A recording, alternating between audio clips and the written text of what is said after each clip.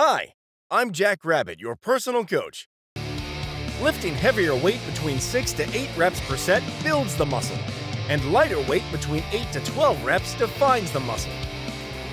Tip Always warm up with lighter weights, all while focusing on mind muscle connection. Tip Train the muscle, not the movement. The difference between try and triumph is a little ump.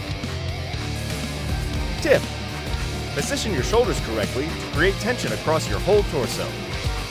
Train your chest from every angle flat bench, incline, and decline. Look in the mirror.